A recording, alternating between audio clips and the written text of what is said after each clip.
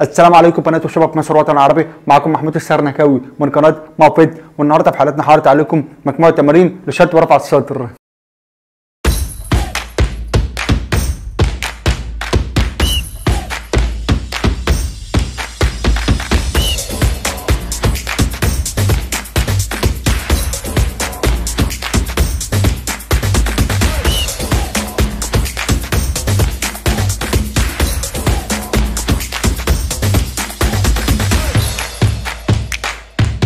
من قبل ما نعمل مع بعض التمرين الأول أو كمان من قبل ما نعمل مع بعض بقية التمارين عايز أقول لكم إن الفيديو النهارده إن شاء الله هيكون الكورس الرابع. يعني أنا آخر ثلاث أيام نزلت ثلاث فيديوهات يعني ثلاث أجزاء الكورس الأول والثاني والثالث وقلت لكم كل كورس فيهم هتمشوا عليهم لمدة 10 أيام وبعد 10 أيام هتبدلوا الكورس الأول بالثاني والثاني بالثالث والثالث بالرابع وهكذا لحتى ما توصلوا للكورس الخامس. بشرط كل كورس فيهم هتمشوا عليهم لمدة 10 أيام. حلو قوي فدلوقتي بقى التمرين الأول اللي إحنا هنعمله مع بعض محتاج تركيز وهدوء أعصاب وتحكم في الحركة نفسها وهنعمل تمرين مع بعض أربع مجموعات في 10 عدات.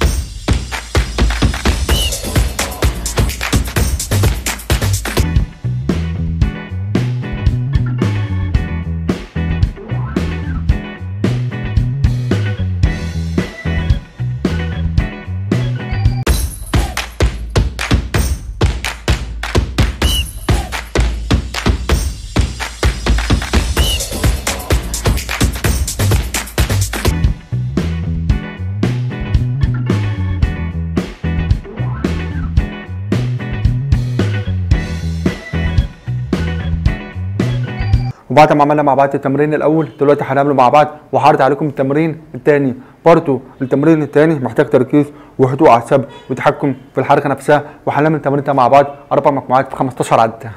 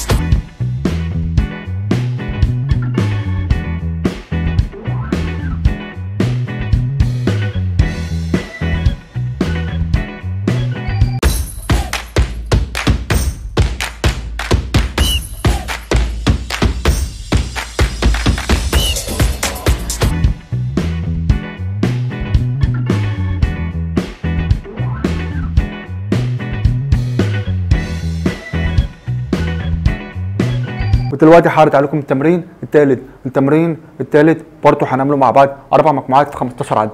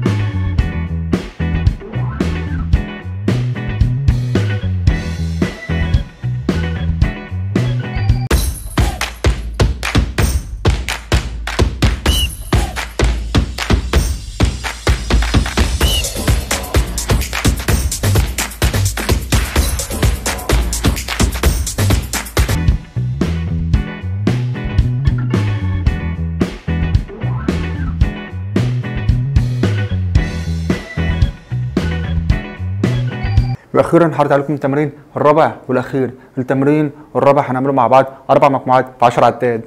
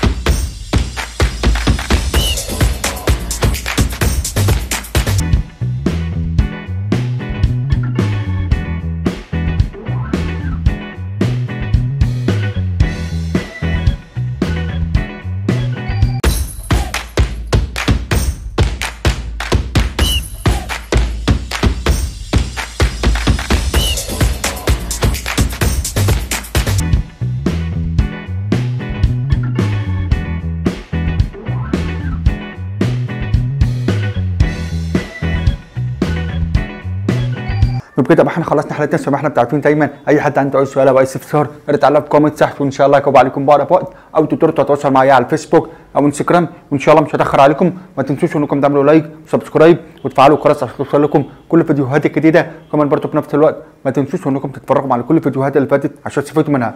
peace